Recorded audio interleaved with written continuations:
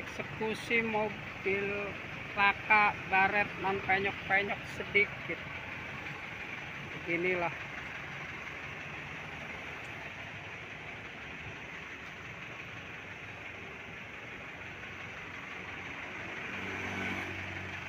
Inilah kalau di jalan kita nggak hati-hati.